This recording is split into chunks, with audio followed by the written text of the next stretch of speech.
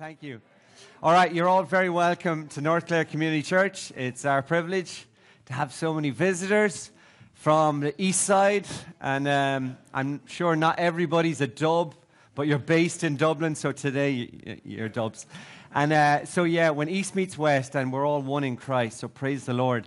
Uh, today, would you grab a Bible? If you don't have a Bible, you can put up a hand here. Usher We'll get you a Bible. And uh, we're in the book of Joshua. So let's turn there. You're all very welcome. Uh, praise God for the wild Atlantic West. It's good to be here.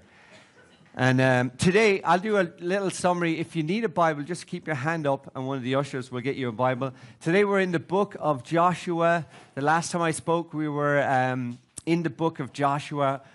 We were comparing it to, um, you know, the the Israelites, they came out of Egypt, they came out of bondage, they went into, they came through the baptism of the, the Red Sea into the desert, um, 40 years in the desert where they learned to hear the voice of God, where they learned uh, to have a spiritual life.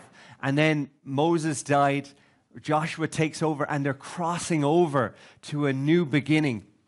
Um, a, a, place where they were going to be used by God to take hold of the promises that the promise that had been made to Abraham to give the people the land. And we looked at how that was such a great picture of our own lives. Praise the Lord, we've been taken out of the slavery of sin in bondage and we've been baptized, been set free. And God has taught us. You know, in the in Deuteronomy there, in the desert, God talked about that we went through those trials, that we would learn that we, man does not live by bread alone, but by every word that comes from the mouth of God. That God allowed us and allowed Israel to go through these challenges so that we would learn what's in our hearts. Anybody here have an idea what's in your heart?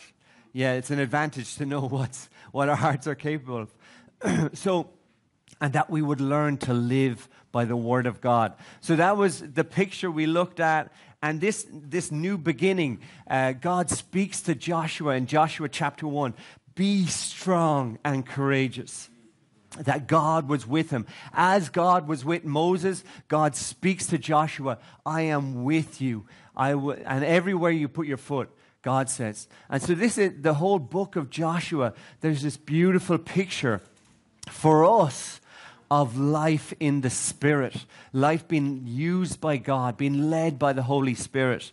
And uh, there's just so many uh, great um, um, paradigms there with that. And in the last study, it was called A Vision of Great Things. You should have been here, it was awesome.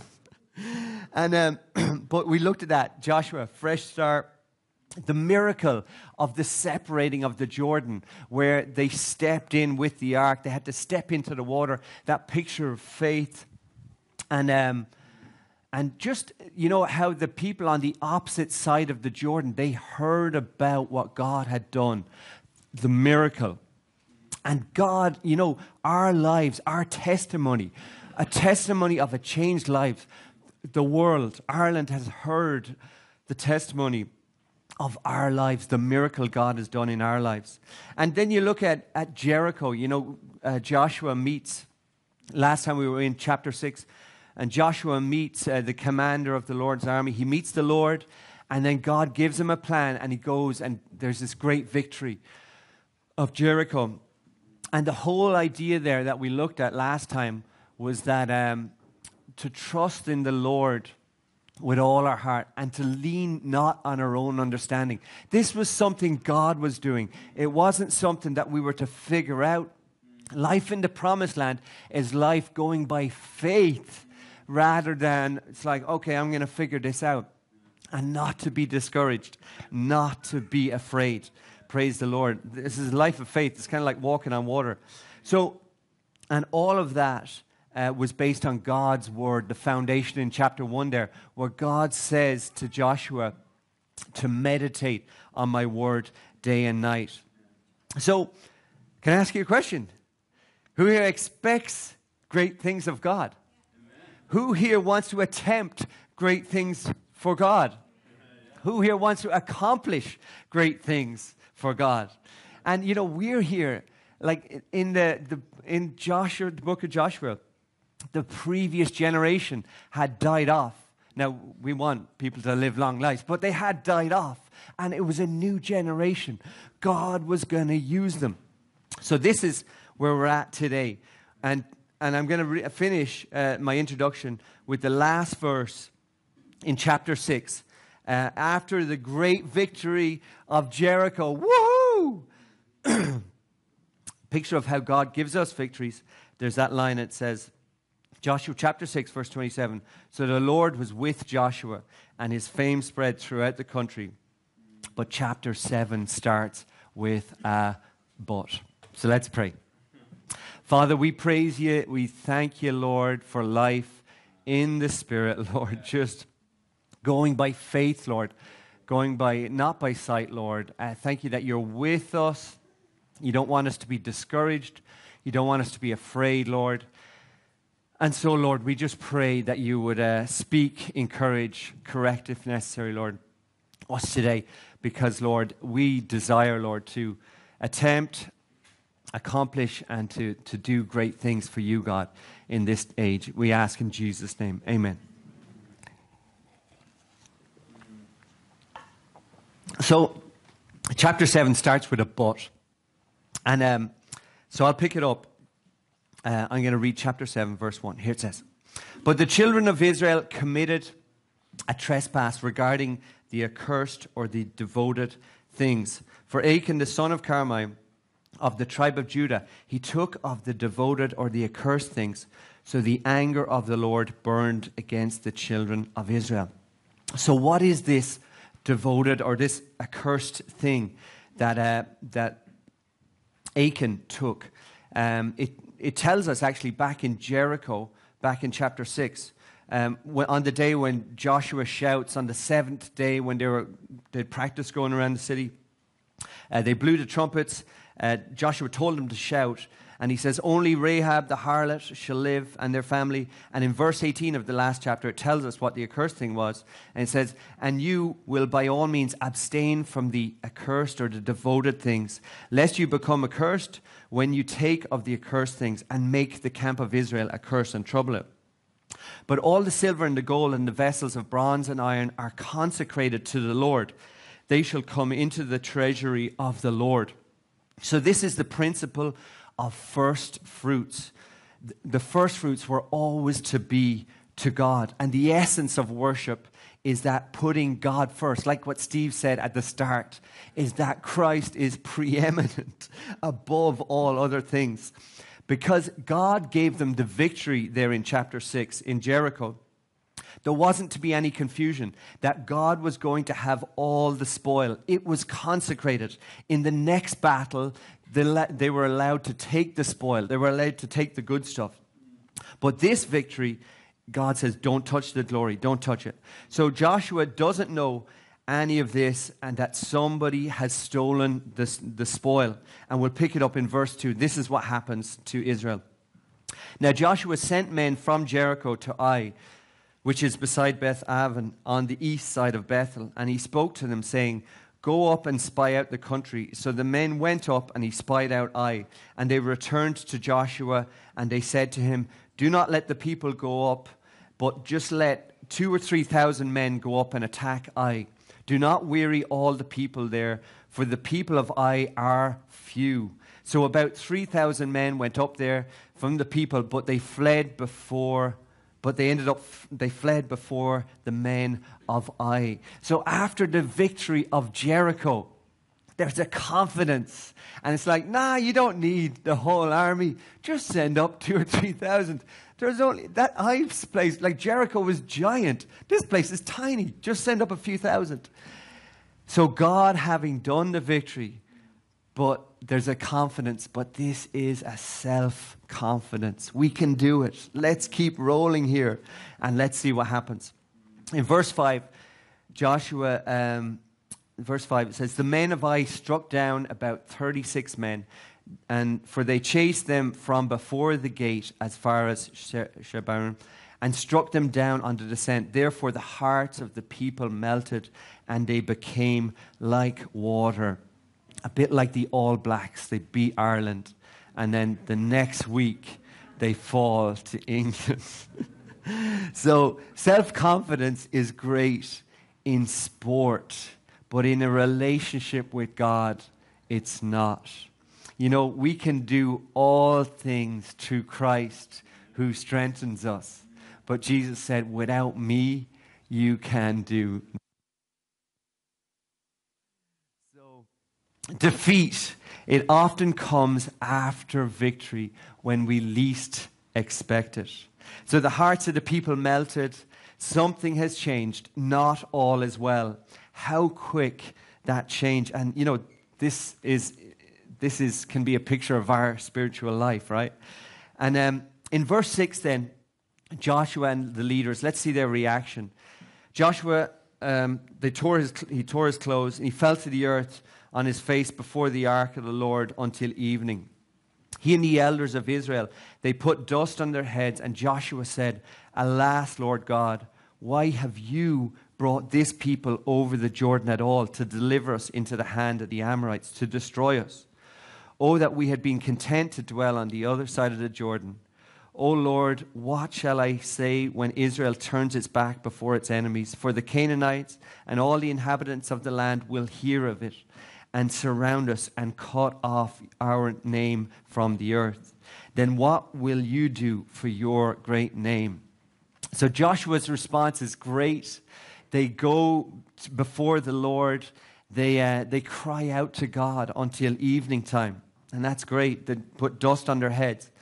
But even Joshua blames God. And you see that in verse 7. Why have you done this, God? And you know, that's we, we know that. We disaster strikes and, and we just turn and blame God. But when we taste defeat, we can feel like quitting.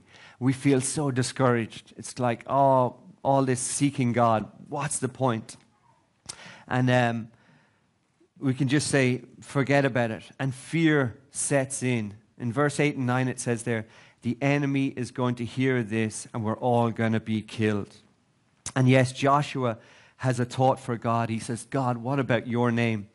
And verse 10, so I, th- I think it's kind of encouraging that Joshua, even great Joshua, you know, this is where he's at. And just discouragement, that's real. It's like, that's part uh, something we are learning to overcome in our walk. So in verse 10, it says, it talks about the sin of Achan. It says, So the Lord said to Joshua, Get up, why do you lie thus on your face? Israel has sinned, and they have also transgressed my covenant which I commanded them. For they have even taken some of the accursed things, and have both stolen and deceived and they have also put it among their own stuff. Therefore, the children of Israel cannot stand before their enemies, but turn their backs before their enemies, because they have become doomed to destruction. Neither will I be with you anymore unless you destroy the accursed thing from among you. Get up, sanctify the people, say, Sanctify yourselves for tomorrow, because thus says the Lord God of Israel. There is an accursed thing in the midst of Israel. You cannot stand before your enemies until you take away the accursed thing. And God tells Joshua what to do. So, and God tells Joshua, it's not a time for praying, it's a time to take action. You know, if, if Joshua, if they had prayed before, um, God would have uh, directed them before. So, chapter 6 and 8 of the book of Joshua are chapters of victory. And it start each both of those chapters start with and the Lord said. So it's as a response to prayer. But chapter 7 there is no and the Lord says and it ends in victory. So there's no mention of prayer. So this is self-confidence that's marked by prayerlessness. So, well, we can see we can say that um, you know sometimes we can become complacent and we can say well god did it that way the last time. Yeah let's just keep going. You know it worked the last time. Just keep going. But you, we know the lord. He wants us to um, to go to him to inquire of him seek him lord what are you doing this time that's that's our challenge because we slip from relationship with the living god into just a strategy or just, right? Humanity, come on. so God says to Joshua, Get up. They've both stolen and deceived, and they've put among them their own God stuff. Therefore, verse 12, therefore the children of Israel could not stand before their enemies because they've become doomed to destruction. And so God explains why they are defeated, why they can't stand before the enemy. It's not that the enemy has gotten stronger, but it's got that God's people have gotten weaker because of sin. And we might ask, is that a bit over the top? That the whole nation is, the whole, all of God's people are doomed and defeated because of one man's sin. But it says in verse 11, Israel has sinned and they have also transgressed. And so those two words, the word sin, it's that uh, word, the New Testament word is missing the mark. Um, you've got the bullseye, you've got the arrow, you hit the bullseye, that's great. but then you, you go again and you miss the bullseye. That's the word sin. It means missing the mark. But the word transgression is different. It refers to willfully disobeying or disregarding God's command. As in, okay, that's what God says, I'm just going to go this way. And this is what God is saying. Yes, they've sinned, but there's, a, there's this transgression, there's a willful disobedience. So we see how one person's willful disobedience defiles the whole camp and prevents the camp going forward. And we can ask ourselves, is that possible? And, but what we do know is that the Bible says a little leaven. This is the biblical principle. A little leaven. It leavens the whole lump. And we know that in Christ that we are one. We are a body. So if the body is sick, the body is sick.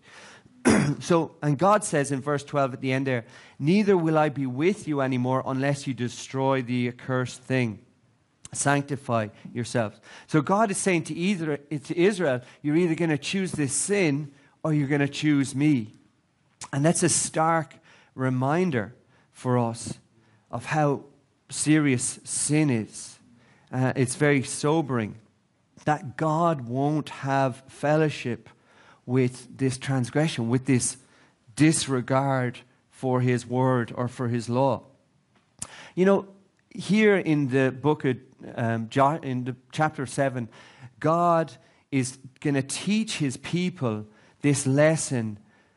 This is an important stage. They've just come in, they've experienced a victory in the promised land. There's a new group of Israelites going forward. They're going to go forward, they're going to do great things for God. This, is, this was their hour to be used by God. The old generation had died off. And it says there in verse 16 So Joshua rose early in the morning. He bought Israel by their tribes. By the tribe of Judah was taken. He brought the clan of Judah and he took the family of the Zarhites. And he took the family of the Zarhites by man, and Zabdi was taken. All the while, God chooses the tribe first. Maybe they were, it doesn't say, maybe they took lots. Then God takes the family. Then God takes the man. All the while, there's a time to repent. But there's no budging. And in verse 18, it says, Then, the, then he brought his household, man by man, and Achan, the son of Carmi, of the tribe of Judah, was taken. So here's Achan. He's been sitting in his shame. Now he's realized that God has seen it all along. And in verse 19, now Joshua said to Achan, My son, I beg you, give glory to the Lord God of Israel and make confession to him, Tell me now, what have you done? Do not hide it from me. And that word confess, it means to ag- Achan agree with God. And in verse 20, Achan answered Joshua and he said, Indeed, I have sinned against the Lord God of Israel, and this is what I have done. You know, as followers of Jesus, um, we're, it's great to be reminded of Christ's love for us imperfect saints. And um, for us, repentance is a good thing. I love that line in that song. I, I don't know which song it is, but um, it talks about we embrace surrender, we embrace repentance. It's not weakness, it is strength for our walk with God. And Romans 5, verse 8, it says, But God demonstrated his own love towards us in that while we were still sinners, Christ died for us. Titus 3 4 says this. I love this verse. It says, But when the kindness and the love of God our Savior towards man appeared, not by works of righteousness that we had done, but according to the mercy, his mercy, he saved us through the washing of regeneration and the renewing of the Holy Spirit, whom he poured out on us abundantly through Jesus, our Savior, that having been justified or forgiven by his grace, we should become heirs to the hope of eternal life. So praise the Lord, we are not under the law. Yes, sin is still serious to God. There's consequences. Still, we heard last week, even for the Christians, Romans 6, verse 23, that verse we hear it all the time. The wages of sin is death. But that was, that was to us. The, the, the wages of sin is death for us. And, um, but praise God. God so loved the world that he gave us his son. And, uh, you know, and, and we come to faith, we believe, and, and where necessary, we repent of our sin. And it's that, you know, I just put that out there today, that idea of the transgression. It's that lifelong walk in a particular way where God's way is this way, God's law says that, but I'm going down this path. And God wants his body to be clean and perfect and white as snow. And so, you know, as a Christian, as a brother or sister, we always need to encourage each other. Brother, sister, listen, you know, you need to turn from this. You know, make that decision. And uh, it's not the time to go to church. It's not the time to just clap with everybody else. It's a time to, like, no, I need to pull aside. God wants to work with this. I need to repent. And that's, that's, that's healthy because we want the body to flourish. And you know, Joshua, this the valley of Achor, I believe it means the valley of trouble. But praise God, for us, repentance is a door of hope to a new beginning. And God's heart is always to wash away our sins. 1 John 1 says, if we confess our sin, he's faithful and just to cleanse us of all unrighteousness. But let's pick this up in verse 21 of Joshua 7, and I'll take a drink. We see the progression of sin, and this, uh, this is useful for all of us. Verse 21, when Achan, he confesses and he says, When I saw among the spoils of a beautiful Babylonian garment 200 shekels of silver and a wedge of gold weighing 50 shekels, I coveted and I took them. And there they are hidden in the tent with the silver. So, our challenge as living our life in the Spirit is that we need to learn to apply God's word, the, God's truth, which is our shield. We need to apply it to our lives. James 1, verse 14, it says, it talks about this progression of sin. This is what we all need to know, right? But, and be reminded. But each one is tempted when he is drawn away by his own desires.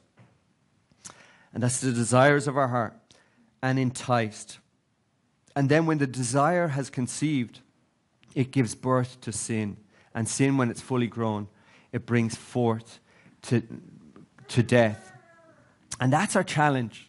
There's that progression. Um, Achan what did he do? He said he saw it first. From seeing it, he coveted. He was like, I like that. I want that.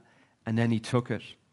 So our challenge is, is to strike quickly at the first part of that. When we see it, what, what is it? Or when we, yeah, when you sense it, you touch it, you feel it, or whatever, you feel anger. It's like, okay, that's the time to cut it off. You see pornography, right? That's the time to stop. And that's what God's word, that's how God's, his truth is a shield to us. So we need to know these things. Last week, we talked about this incredibly powerful. Steve talked about it. He's going through the book of Romans. Incredibly powerful truth. It's like, oh my goodness. Brian taught the week before, and th- that psalm, it says, Power belongs to the Lord. Brothers and sisters, the power of God, the power of the Holy Spirit to overcome sin in our lives is remarkable, right? Only God can change the leopard spots. He can change us. Look at this Romans chapter 6. And if, if you want, check out last week's message. Romans chapter 6, verse 6. I don't want to preach last week's message, but this is worth saying, right? Um, Romans chapter 6, verse 6. Knowing this, know it, that our old man was crucified with him, with Jesus, that the body of sin might be done away with, and that we should no longer be slaves of sin, for he who has died has been freed from sin. Dude, this is remarkable. It's like so when my um, uh, computer drive that you put in the side of the computer to transfer the verses onto the computer, when it ama- miraculously goes missing this morning, and I'm flipping out in the house, God says, John, you don't need to flip out. It's because the body of sin, what does it say? We're no longer slaves to sin. I don't need to, like, bah! I don't need to. God says I don't need to. So this is God's truth. And here's the challenge of, of the book of Joshua that we need to appropriate God's promises. We need to possess them. These are our possessions. And we need to take them and bring them into our lives. A lifelong challenge. But God is the God who fights our battles. And, you know, I thought about this. I'm going ahead of myself here a bit. But I thought about this how last time I thought the book of Jericho, or Joshua chapter 6, Jericho, God says, like, you don't need to fight this battle. And I was thinking about, and that was the battle for the land. But I was thinking about, man, this battle of our flesh, the, the battle within, like the flesh, part of us wants, like, I want that. And God is saying, no, no, go this way. But I was thinking, like, this battle's real. We got to fight this battle. But you know what? Um, I'll flip forward to this verse here. In Galatians 5, where um, Paul says, yeah, basically he says, if we live in the Spirit, let us also walk in the Spirit. Um, I'll get to that in a minute.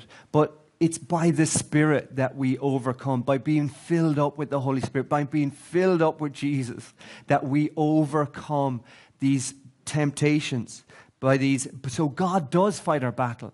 He's won our battle for us, but we just need to walk it out. So um, that's where we're at. And um, okay, so to conclude, I'll, and I'll start to wrap up. The bush, book of jo- Joshua um, talks about taking ground, uh, that no enemy stands in our way, no sin, and going forward in faith, believing God not going by fear. God loves us. He wants our lives to be defined by victory, not by defeat and sin. But I believe in Joshua 7, it teaches us the very important lesson. Two lessons, I believe. Uh, the battle between the flesh and the spirit. Jesus said about the, the battle within, he's talk, he says in Matthew 26, verse 41, he says, Watch and pray lest you enter into temptation. The spirit is willing, but the flesh is weak. And um, there is that battle going on inside us. And Paul tells us in Galatians chapter 5, verse 17 the flesh, it lusts against the spirit, and the flesh, the spirit against the flesh. So there is a war going on between my flesh and the spirit, and the same for you. And there's that verse I was looking for. Um, Galatians 5, verse 16. Walk in the Spirit, and you shall not fulfill the lust of the flesh. So that the first lesson from cha- Joshua chapter 7 is that whole the battle between the flesh and the spirit within a, the Christian. But also there's this lesson of self-confidence. There's a, a verse from Psalm 147, I just thought of it this morning. It's a great verse, tells us about human strength, like, whoa, we can, I can do it. Psalm 147, verse 10, it says, He, God does not delight in the strength of the horse. He takes no pleasure in the legs of man or in human, human might or in human leg power. And, um, and so that's God wants us completely to rely on Him. And that's our challenge, just to present ourselves to God, stay filled with the Holy Spirit, and to apply God's truth to our failures. Uh, thank God he gives us examples. And I'm just going to end with this example of Peter. Uh, we all know this example of Peter. Uh, and it's a great example of self confidence. Um, when Jesus predicts in Matthew 26, when Jesus predicts um, the denial that all the disciples are going to deny the Lord, um, Peter answers and he says in verse 33 Even if all are made to stumble because of you, I will never be made to stumble. What a statement! I will never be made to stumble.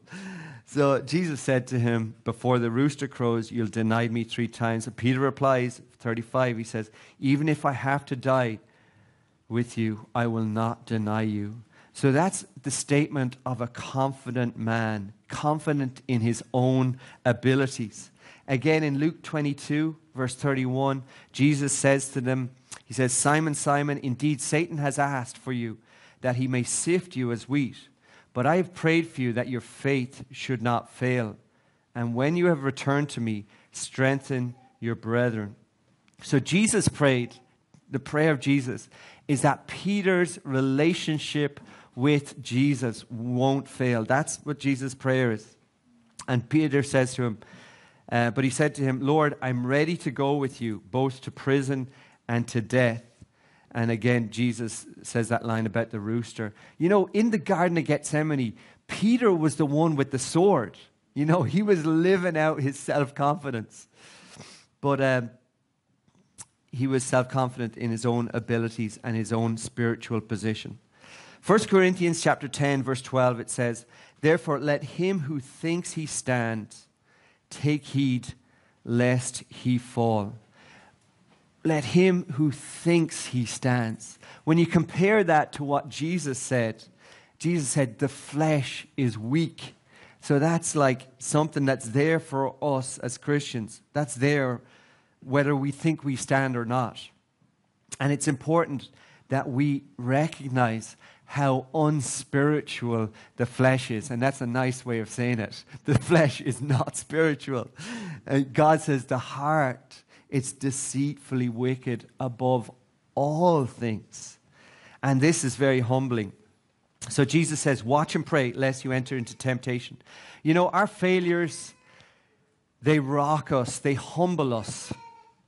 And, um, and they should. You know, God doesn't want us sitting in defeat, but God wants us to be filled with the Holy Spirit. As Jesus was taken away he looked into Peter's eyes, and um, I'm sure Peter was shattered by all of this, Peter's failure. But uh, Jesus has pr- had prayed that Peter's faith would not fail, that he would believe, not fear, that he would be, not be discouraged. And I believe that Peter found grace in the eyes of the Lord. And Jesus restored Peter. You know, on the day of uh, the resurrection, Jesus says to the women, He says, and tell Peter. And, um, and he used him, encouraged him to go and encourage the disciples. Peter was the first to bring the gospel to the Gentiles.